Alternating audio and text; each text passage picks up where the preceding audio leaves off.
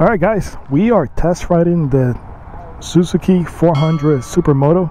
If you ask me, this is almost like the standard when it comes to supermotos. Uh, DRZs uh, have been around for a very long time. One of the few bikes in the market that is still uh, carburetor, which to me is kind of baffles me. Maybe that's a way for them to keep costs down but it's going to be a very tall bike. You're going to get 10.3 inches of ground clearance. You're going to get 17 wheels 17 inch wheels in the front. Hold on i'm trying to turn uh, nope Nope. What? What? You just shut it off.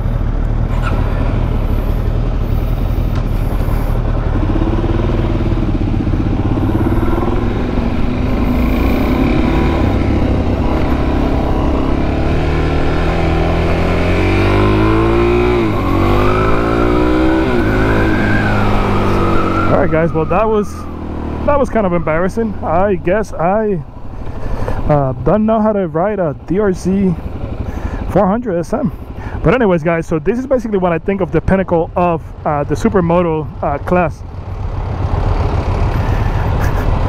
I didn't know i had to press the clutch. Yeah. Interesting.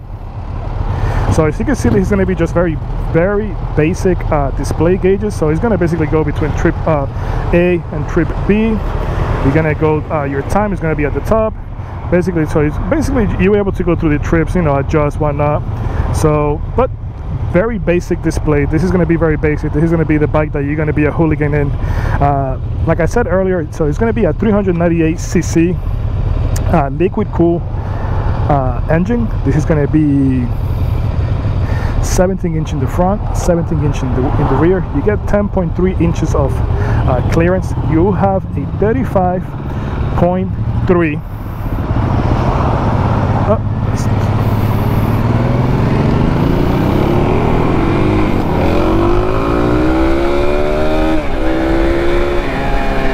you get 35.3 uh, seat height so for me i am 30 in you know 30 to 31 inches of uh, my inseam. I have to say i almost tiptoe but the suspension is extremely soft. So even at you know even having a 35.3 inch uh, ground uh, seat height you're able to see that i am still basically almost able to flat foot it left or right the tank is going to be a little bit under uh, three gallons so typically this type of bike is going to get you between you know 50 to 60 beat range. So even with your two gallons you're still talking about that you're getting over you know 100 probably 15 130 miles uh, uh, per fuel up. So like you can see very basic. You only have your neutral light. You're going to have your high beam. It's going to let you know whether or not your bike is getting hot. Uh, this is going to be basically what's going to be your your it's going to be your clock there going to show you your turn signal for left and right. So and you press over here in the bottom in the middle the yellow one is going to go ahead and reset the whole thing. As you saw earlier uh, it's gonna give you uh, in order for you to start the bike you have to basically uh, hold the clutch and then go ahead and, press over here to go ahead and turn it on. It has to be out in order for the bike to be able to go, go ahead and engage. That's a weird thing I mean at least for me uh, but that's just the way it is. If you ask me it almost feels like it's like very cheaply made. I'm not sure if it's just me or i'm just trying to be picky or not but it feels cheap. I have to say the bike feels great uh, in terms of uh, it's a very flickable bike. This bike is going to be a little bit over 300 pounds and you definitely feel that right off the bat. It's not going to have a lot of horsepower. However it's not going to have a lot of horsepower as you know having a you know 398 cc motor but being so light it's gonna give you uh, it's gonna be very uh, very light very flickable. So you can see this is gonna be very smooth. It's gonna be a five-speed transmission which again to me almost makes no sense. Just because if you think about it all your all your other uh, kind of uh, you know smaller dual sport bikes. You know you have your Honda with the 300 you have you know your Kawasaki with the KLX 300 as well and even the 650 class. All those bikes are going to have a six speed. Uh, let's not forget the Yamaha WR 250R which I had one back in 2008 even that bike has a, a six speed uh, six speed transmission not this one. Uh, this is going to be chain driven so again uh, you know every couple of hundred maybe a thousand miles you know clean and and lube it up no issues. Uh, the tires are going to be tubeless tires so that's something that you're going to have to keep in mind if you're you know riding this type of bike. I know a lot of people when they buy this bike they one of the things they do is that they buy uh, the you know dirt wheels. That way you're able to have your supermoto wheels and you have your dirt wheels. All it takes you maybe an hour to swap wheels between your supermoto and your dirt wheels and you're you know able to go ahead and take it off road i know that they, they, do sell kind of beefy tires for these supermoto wheels but they don't ride the same uh, i don't know if you're able to see earlier the supermoto wheel is going to be a wider stance versus versus your typical uh, you know dirt wheel that is going to have it's going to be narrow and it's going to have like the knobbies you know for better traction and whatnot. So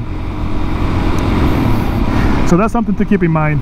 Other than that the suspension is very very spongy. Uh, i am 5'10 and i'm around 220 so obviously the weight doesn't help. But so something to keep in mind if you get a bike uh, if you get the drz 400 sm you're gonna have to probably you know rework the suspension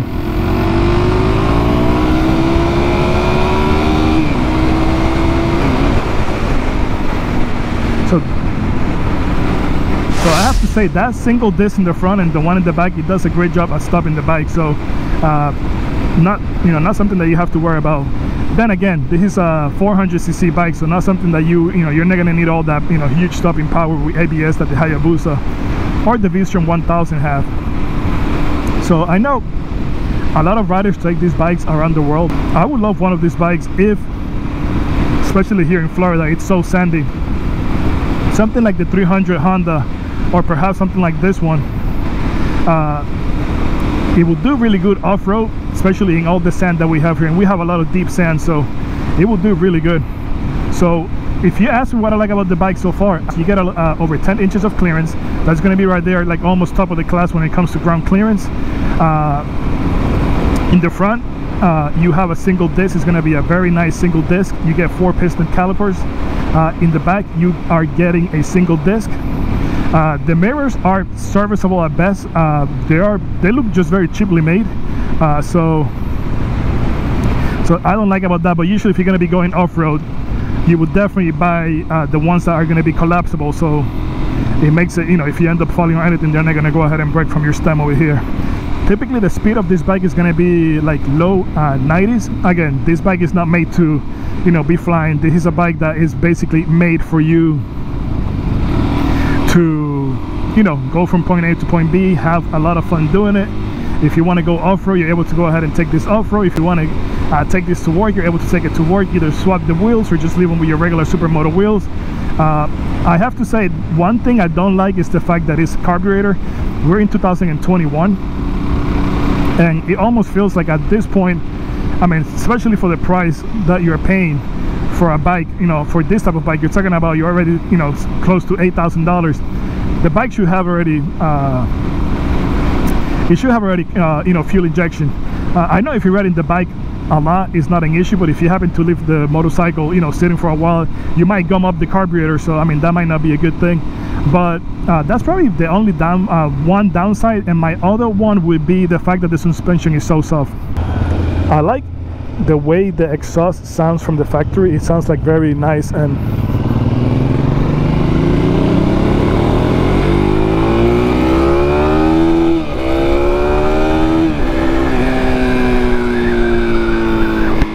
riding this uh, riding the Suzuki 400 reminds me of when I used to have my my WR250 you're literally already you're almost the whole time in the RPM it's so light that you feel like you're going faster than you are. And it's a lot of fun.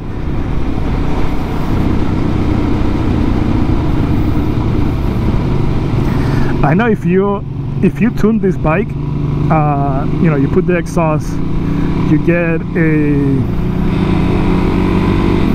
you tune the exhaust you know change the exhaust you put a map sensor. Uh, you're able to go ahead and get a little bit more horsepower but I mean my honest opinion uh, if you ask me this is a 400cc bike. This is not meant to be racing. Uh, so to me I wouldn't even do that. I would just ride it as it is and just you know just take it for what it is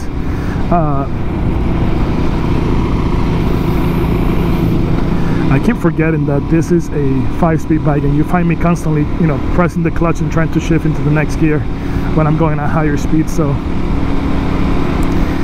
the seat is just as I remember my WR250 being. It's hard as a 2x2. So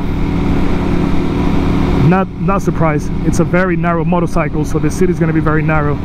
You might be able to buy like an aftermarket, maybe like a Corbin or Sargent or one of those, and you know you're gonna get better, better cushion or you know more comfort. But you know, that's just me. I never did anything to my WR. I just rode it for what it was. Did some off-roading, some light off-roading because I was still new to riding. Uh, never did highway cruising because I didn't feel like that was the bike for that. So, but a very fun little bike. Now, keep in mind, this is being, let's just call it a dirt bike. Uh, you're not gonna get any, you're not gonna get any wind protection. So, you know, if you're buying this bike to be doing constantly, uh, you know, 55, 60 miles an hour.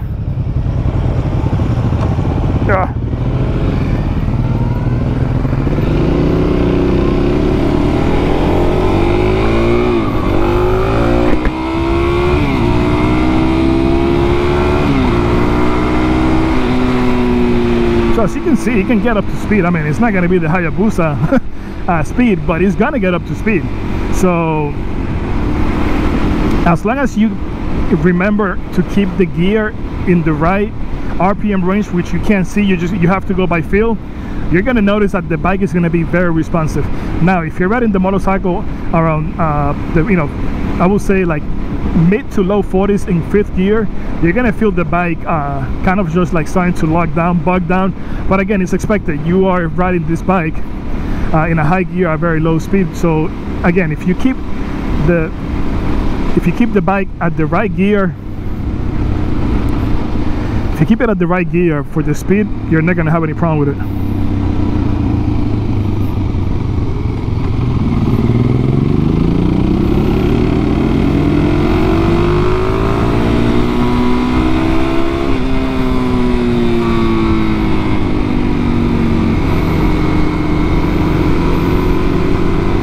I have to say the the lead guy is doing a pretty good job finding you know decent roads for Florida. I mean I know it's hard when you're riding a bike you know test test riding a bike here in Florida to find anything decent to ride but he's found some decent rides in my other two demos that we've done so far. So kudos to the guy for doing a good job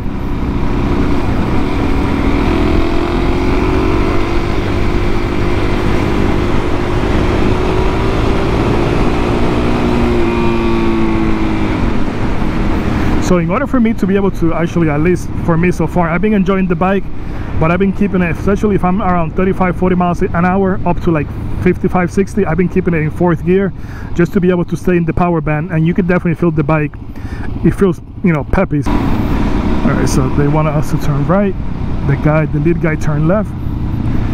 So let me we're just gonna go ahead and pull here real quick. We gotta wait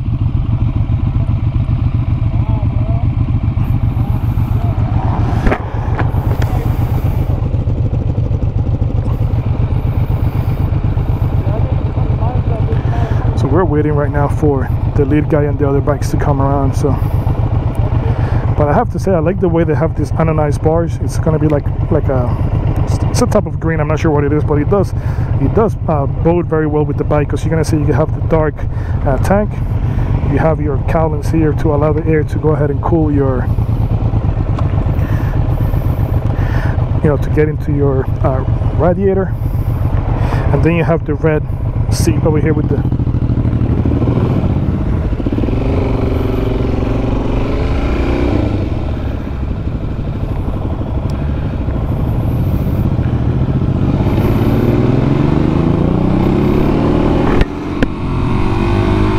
you ask me at that point we last we, we could have just gone the other way and just called it a day. I mean we're literally next to the dealer so.